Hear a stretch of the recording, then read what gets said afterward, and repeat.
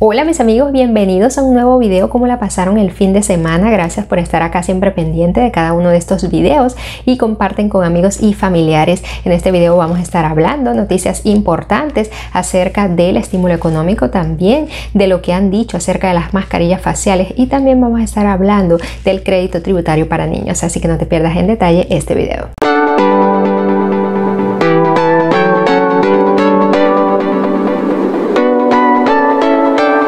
Bienvenidos amigos y muy feliz por todos aquellos que se suman a esta comunidad. Gracias por estar acá, los que están desde el principio en este canal y los que se han sumado día a día. Y recordarles que al final del video estamos saludando a más personas como también los que primero comentan. Hoy es lunes 26 de abril de 2021 y estamos felices porque han enviado más estímulos económicos. Lo dijimos en el video anterior que se enviaron más estímulos económicos por cheques de papel que por depósito directo. Así que si usted no le ha llegado todavía, Esperemos que estén muy pendientes de sus correos postales porque allí debe estar su cheque de estímulo económico. También se han enviado tarjetas de débito, también depósitos directos, pero la mayor cantidad fue de cheques de papel. Así que muy pendientes todas aquellas personas que no les había llegado este estímulo económico de 1.400 dólares y también aquellas personas, estuvimos mencionando las del Seguro Social que se encuentran también en el extranjero y van a estar recibiendo este dinero. Por eso me gusta que me dejen acá abajo en los comentarios. Ya voy recibiendo el estímulo económico, ya me llegó. Y que también coloquen su estado porque si las personas que viven en sus mismos estados tienen una idea de cuándo les estaría llegando el estímulo económico. Ahora vamos a hablar del crédito tributario por niños. Recuerden que en la ley anterior se aumentó este monto para los niños menores de 6 años de 3.600 dólares y para aquellos niños de 6 a 17 años se les daría 3.000 dólares.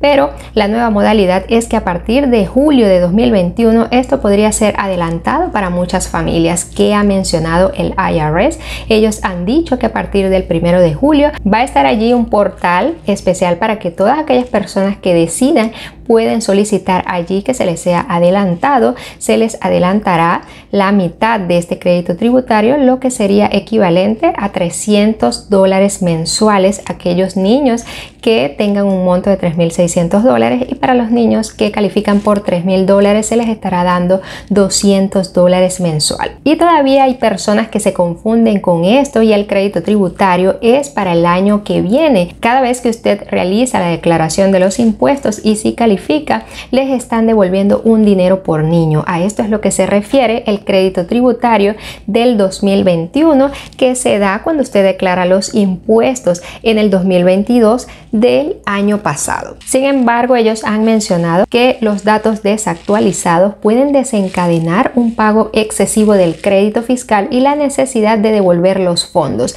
Así que amigos, si usted calificaba anteriormente para este crédito y le envían el pago adelantado ahora a partir del mes de julio y cuando usted presente su declaración de impuestos actualizada ya no califica para este crédito, entonces tendrá que devolverlo. Ellos lo han mencionado acá y son muy estrictos con esto, así que pendientes amigos porque usted podría estar devolviendo este crédito tributario el año que viene. Sin embargo, ellos también han mencionado que hay una protección de dos mil dólares para las personas con ingresos más bajos. Se protegerán hasta dos mil dólares por niño del reembolso si el error se debe a cambios netos en el número de niños calificados según el Servicio de Investigación del Congreso.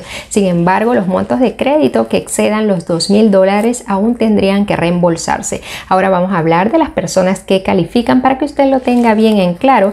Los contribuyentes solteros con menos de 40 mil dólares en ingresos califican para el monto total de los 3 mil o 3.600. Los jefes de familia y las parejas casadas que presentan una declaración conjunta califican si sus ingresos son menos de 50 mil dólares y 60 mil respectivamente.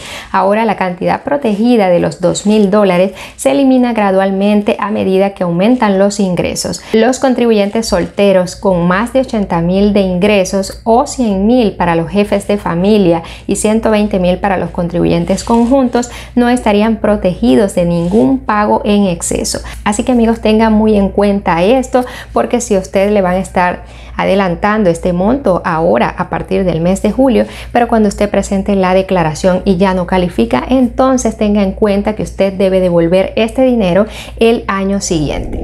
Con respecto a la vacuna y al COVID-19, recordemos amigos que los últimos reportes han demostrado que 3 millones de dosis están siendo implementadas diariamente y esto va ocasionando un aumento en la economía ya que muchas personas van retornando a sus trabajos. Y también una fuente familiarizada de la NBC News ha reportado el día de hoy que la administración Biden está programada para relajar la guía de salud pública federal sobre el uso de mascarillas al aire libre tan pronto como esta semana. Así como ustedes lo escuchan amigos, esta fuente está mencionando que posiblemente el día de mañana martes ellos van a sacar una guía actualizada con respecto a las mascarillas al aire libre. Puede que esto sea una diferencia para las personas que ya estén vacunadas, como también se digan unas pautas diferentes para los que todavía no se han vacunado. Así que vamos a estar pendientes a lo que vaya a suceder esta semana, específicamente el día de mañana, como acá lo están mencionando, y que creen ustedes amigos? ¿Piensan que ya debería quitarse el uso de la mascarilla al aire libre o piensan que todavía no? Bueno, ¿qué dice la guía oficial del CDC hasta ahora, quien es el Centro de Control de Enfermedades Infecciosas del país? Ha mencionado que es posible que si usted está al aire libre no tenga que utilizar las mascarillas, sin embargo, en sitios, en establecimientos, en interiores, usted debe todavía utilizarla y que también hay áreas que pueden tener mandatos de máscaras mientras están en público, así que hay que verificar estas reglas de acuerdo a su área local y también a su estado. Bueno amigos, me alegra informarte. Antes de despedirme quiero saludar a los que primero comentan y ellos fueron Isabel López, José Carreras, Mildrey Macías, Darcy Mora, y también, como siempre, estamos saludando a más personas. Un saludo para Luz Alas, Oscar Martínez, FIFA Rivas, Iván Vázquez, Moraima Pichardo, Isabel López, Mariela Pérez, Antonio Herrera, Brenda Canales y Sergio Jaimes. Gracias a todos ustedes que comentan, les envío un abrazo, saben que son especiales por este canal. Gracias por su amistad y por su apoyo siempre. Los veo en el próximo video. Recuerden que todo lo podemos en Cristo que nos fortalece. Hasta luego amigos, bye.